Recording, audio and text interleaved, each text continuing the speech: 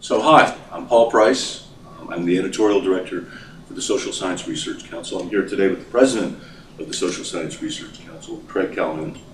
And uh, uh, Craig is uh, an acclaimed scholar on political and social movements, uh, having written a book on the social foundations of uh, popular radicalism during the Industrial Revolution, also releasing soon a book on the roots of radicalism.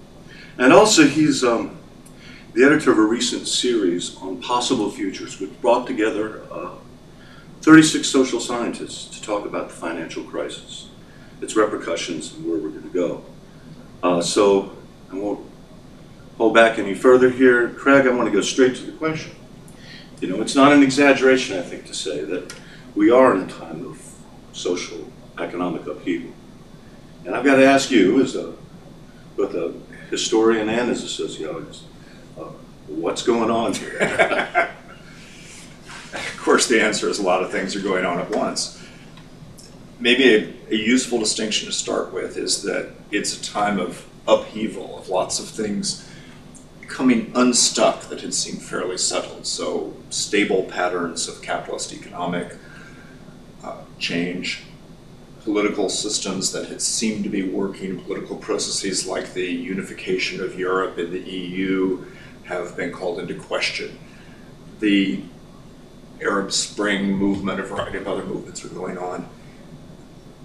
It's one thing to say that there's an upheaval in the sense in which the systems that we live in aren't working especially well and things are changing. And it's another thing to point to the existence of social movements, which have to do with ways people are trying to get a handle on what's changing and shape it. And so I think we have a mixture of things that nobody ever exactly intended with the intentional effort by large numbers of people to try to shape the course of social change.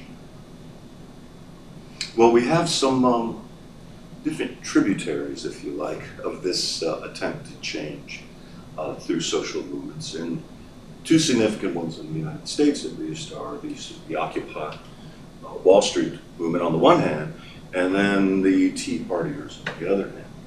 And then if you, you know, look a little more broadly, you've got the anti-immigrant groups in, in Europe uh, mobilizing on the right. And you've got movements similar to the Occupy Wall Street uh, uh, uh at work in Europe on the left. Um, talk to me a little bit about, about the similarities, the differences between what I take to be essentially two different strains of populist reaction to what's going on. I think that's a good label to say that there's an element of reaction and an element of populism. Uh, maybe not exactly the same thing, but commonly going together. Neither of these is simply the result of an ideological position taken in the abstract okay, here's how we want to build a better world, here is a vision laid out in great formal detail, now let's make progress towards that. Each of them has large elements of reaction to events, to things that are going on, to trends that people don't like, whether on the right or the left.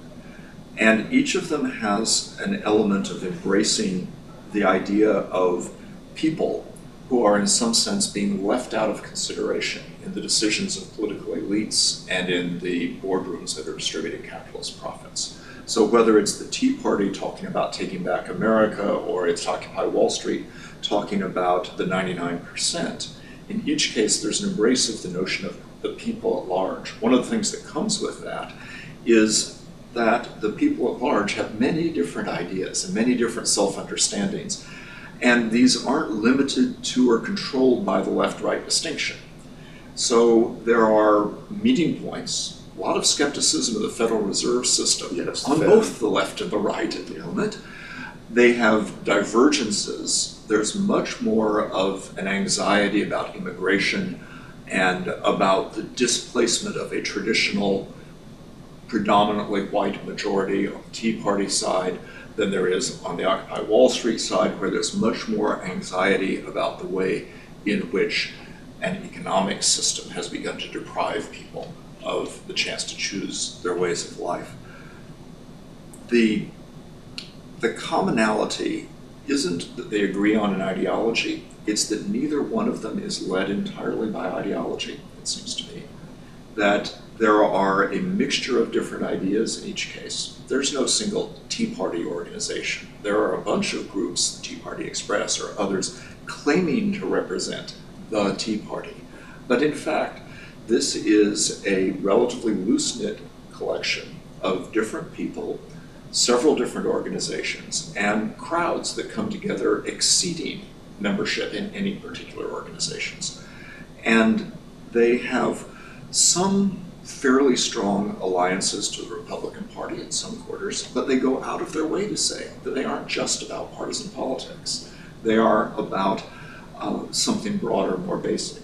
Well, something similar is going on in that sense organizationally with the Tea Party, which is an amalgamation, I mean, sorry, with the Occupy Wall Street, which is an amalgamation of a variety of different groups and people who weren't a part of any group, who sort of resonated with early parts of the message, who felt frustrated with the situation, who were unhappy that nobody seemed to be speaking for them, and came out and became participants of this. And not just at Zuccotti Square in New York, but in 50 or 100 different cities around the United States. 150 is the latest. Okay. And, uh, um, and it'll be a bigger count because I think this is growing and spreading rapidly. The, there are big differences in how people define the situation. The Tea Party, so called, that particular coalition, has defined the situation as having more to do with political elites that are acting in ways at odds with the broader population, and particularly has an animosity towards President Obama. The Occupy Wall Street group may be disappointed in President Obama and some political elites, but they're identifying issues that go beyond just the actions of those political elites that have to do with the economic structure of the country, with the extent to which profits and wealth are concentrated in a very small part of the population. And so they're, they have a different diagnosis, I think, and that relates to different ideas about what would be the desirable course of progress in the future.